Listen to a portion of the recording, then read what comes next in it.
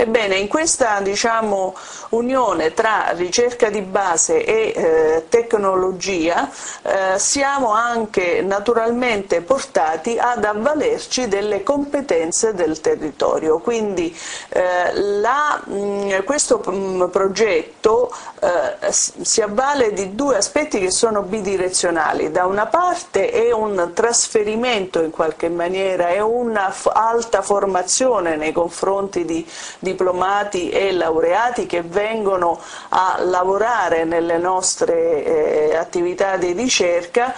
appoggiandosi anche ad altre università in tutto il mondo o a eh, attività eh, industriali, ma in qualche maniera è anche di nostro interesse, nel senso che ehm, non lo consideriamo solo un trasferimento di, unidirezionale da, tra le nostre competenze e il territorio, ma vogliamo avvalerci in maniera più profonda delle competenze del territorio e semmai svilupparne altre. Nell'ambito di di questo progetto eh, di, eh, anche nella precedente edizione ha avuto particolare eh, successo questa attività che chiamiamo e-learning. L'e-learning è un modo innovativo eh, in cui eh, noi ehm, eh, ci interlacciamo con le piccole e medie imprese del territorio fornendo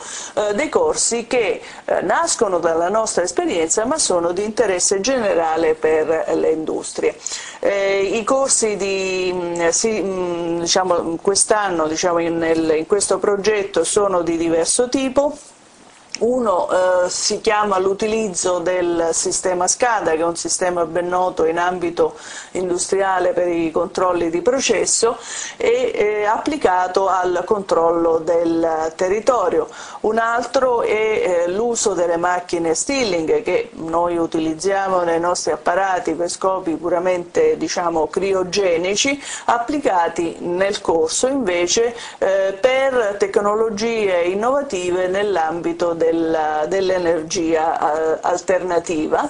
E ehm, poi abbiamo un corso di tutor che eh, diciamo, in qualche maniera serve a, qualche, a formare proprio eh, le persone che partecipano e che eh, collaborano alla eh, costruzione di questo e-learning e poi il, un altro anche molto importante che eh, è di uso estremamente mm, diciamo, grande è quello dell'affidabilità affidabilità dei servizi informatici. Eh, questi corsi vengono affidati tutti a eh, persone ovviamente di eh, grande ehm, esperienza, per far questo ci avvaliamo anche della collaborazione col GAR e ehm, se, ripeto si sviluppano eh, secondo eh, modalità tutte informatiche in cui i, gli allievi eh, sono messi con tutte le tecnologie più innovative in contatto con i eh, maestri e seguiti anche dai tutor. Ecco perché quindi all'interno di questi corsi c'è anche eh, un corso nel corso che è proprio quello del, del e-tutoring.